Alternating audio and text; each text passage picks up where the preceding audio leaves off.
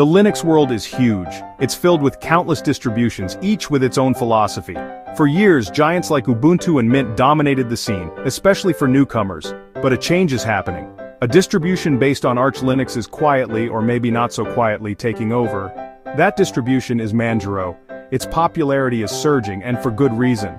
It's not just another pretty face in the Linux crowd, it's a powerhouse that balances cutting-edge features with user-friendliness. This isn't an accident. Manjaro was designed to solve a specific problem, making the power of Arch accessible to everyone, without the headaches. So, what's the secret sauce? Manjaro takes the best parts of Arch Linux, the speed, the power, the massive software availability, and puts a friendly, intuitive layer on top. It smooths out the rough edges that often scare new users away from Arch. You get the performance and flexibility of a highly optimized system, but you don't need to be a command line wizard to get it running. This unique combination is attracting a massive new wave of users. People who were once intimidated by Linux are now finding a home in Manjaro, and experienced users are switching over for its convenience and stability. One of Manjaro's killer features is its rolling release model. So what does that mean? Traditional Linux distributions like Ubuntu use a point release system. You get a big update every six months or every few years. In between, you only get security patches.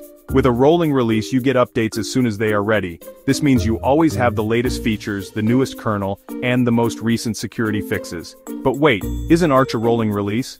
And isn't it known for sometimes breaking? Yes, and that's where Manjaro is brilliant. Manjaro adds a testing layer. Before updates from Arch reach you, they are held back in Manjaro's own repositories for a week or two. They are tested by the community and the development team to ensure they are stable. Getting started with Manjaro is incredibly simple. The installation process is one of the best in the Linux world. Using the Calamares installer, you are guided through a clean graphical interface. It's as easy as installing Windows. You can set up your language, keyboard and time zone with a few clicks. The installer also handles partitioning, which is often the scariest part for new users. Once you install it, you get to choose your desktop environment. Manjaro officially supports XFCE, KDE Plasma, and GNOME, but the community supports many more, like Cinnamon, Mate, and Budgie. Let's talk about software. This is where Manjaro truly shines, and the magic word is AUR. The AUR, or Arch User Repository, is a massive, community-driven repository for Arch-based systems.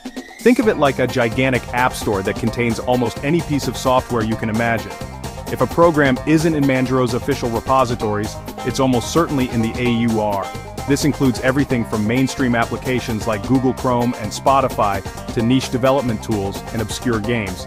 You don't have to hunt down installers on the web, you can get everything from one place. Accessing the AUR in Manjaro is incredibly easy. Manjaro comes with a graphical software manager called Pamac. With a simple click of a button in the settings, you can enable AUR support. Beyond software, Manjaro offers deep customization.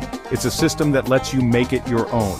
From the desktop theme and icons to the system kernel, you have control.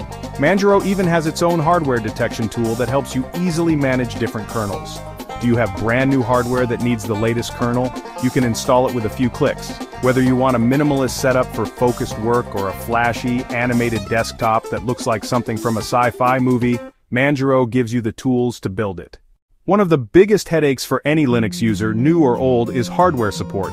Finding and installing the right drivers, especially for things like graphics cards and Wi-Fi, can be frustrating. Manjaro solves this problem with its hardware detection tool. During installation and on first boot, Manjaro automatically scans your system's hardware. It then identifies and installs the necessary drivers for you. This includes proprietary drivers, like those for NVIDIA graphics cards. Of course, no operating system is perfect and sometimes you will run into problems. When that happens, Manjaro has your back with a strong supportive community. The official Manjaro forums are friendly, active, and filled with knowledgeable users. In addition to the forums, the Manjaro Wiki is an excellent resource. It's packed with well-written documentation and guides that cover everything from basic setup to advanced system tweaking. So, why is Manjaro taking over? It's simple, it offers the best of all worlds. For beginners it provides an easy installation, automatic hardware setup, and a user-friendly interface that makes switching to Linux painless. For advanced users it offers the power and flexibility of Arch, access to the AUR and deep customization options, all without the tedious manual configuration. It's a stable, rolling release powerhouse that respects your time. Manjaro isn't just another Linux distro, it's a new standard for what a desktop operating system should be. It's a fantastic choice for anyone.